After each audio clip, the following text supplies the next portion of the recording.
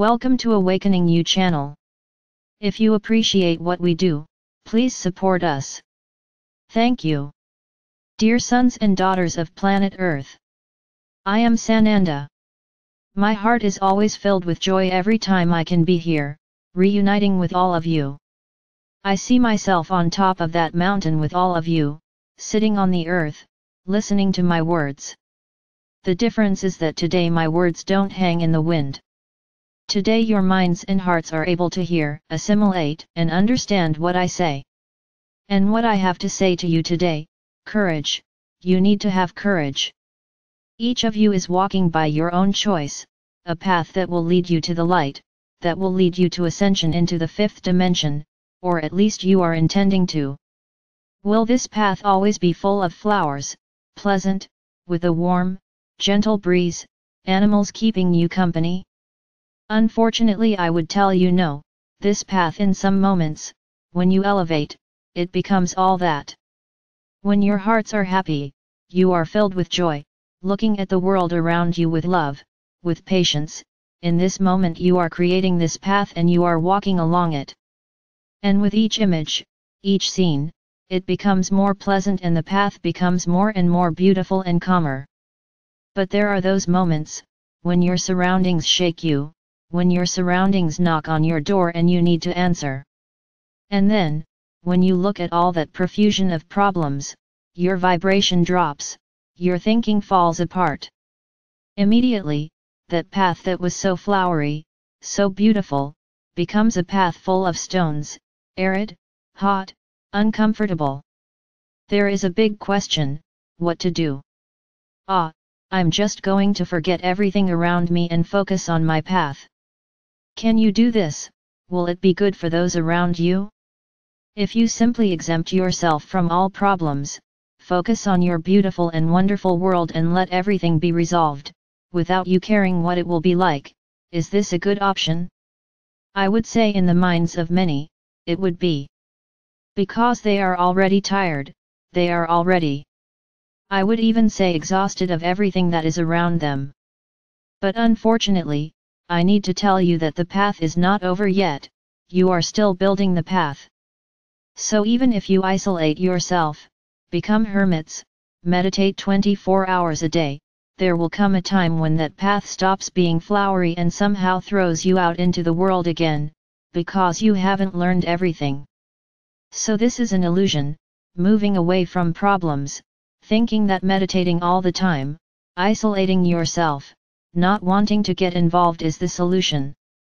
Unfortunately, I will tell you that it is not. Because you will not be able to maintain this wonderful path for long, your journey is not over yet, your journey is still happening.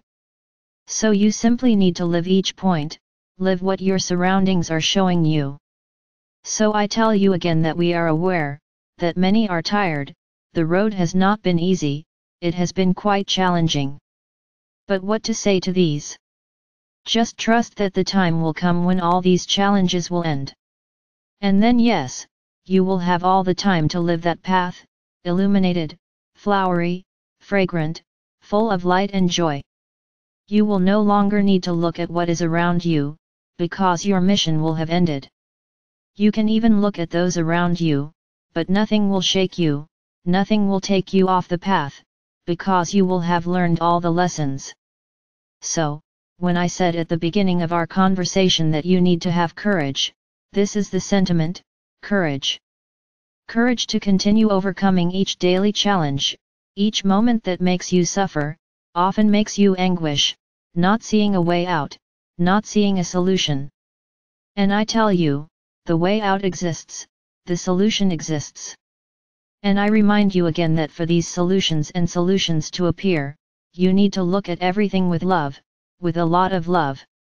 Then the solutions will come, as if by magic and you will start looking at that problem, that challenge from now on without getting involved with it. Because you have already understood it, you have already transformed it into love, so it no longer shakes you, it no longer affects you. Now the courage is to change, to change within yourself the way you look at each thing. It's not an easy step, it's not a simple step, but it takes courage to change, it takes courage to say to yourself, this doesn't belong to me. This isn't mine. So I deliver, maintain, return the energy to whoever sent it to me. This energy is his or hers, it is not mine. And return this energy with light, with a lot of light. The energy arrived at you, knocked on your door, you had to open it, it left your balance, from your flowery path to opening the door, to that energy. Then ask yourself the question, I need to interfere with this energy. Is there any action I need to take? If so, take your action with love and light. No, the energy does not depend on your action, it just knocked on your door, so you will look at it, fill it with light and return, this energy does not belong to me. I return with a lot of light to whoever sent me. Okay, this energy will not remain in you in this way, you will not feel anger, you will not feel upset for having been taken out of your path, for something that is not yours. And I can guarantee you that this happens 90% of the time. You are affected by energies that are not yours, that you did not create.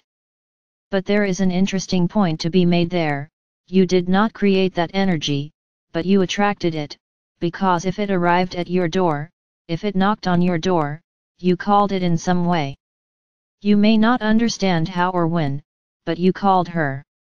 So the time has come for you to learn how to return that energy to the owner. But with a lot of love and a lot of light, because otherwise, it will keep knocking on your door, until you look at it with love and with light. So I'm going to teach you a very funny image, many will say, when something bothers you from outside, see yourself opening a door and on the other side a child, smiling and naughty, laughing at your door. Why did she knock on your door? Because she was a child. What will you do? Will you slam the door in her face or will you simply laugh with her, finding what she did funny?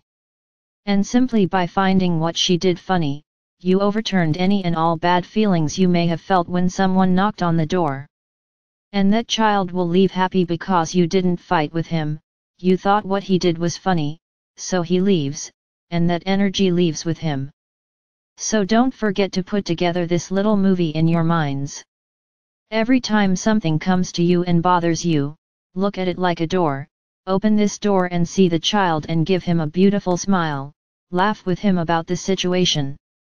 And you will see how, little by little, your brains will learn this path and everything that comes to you, that does not belong to you, that comes from around you, will no longer bother you. Because you will just laugh at everything and by doing so, you almost keep your path bright and flowery. It falls apart for a brief moment and then it forms again.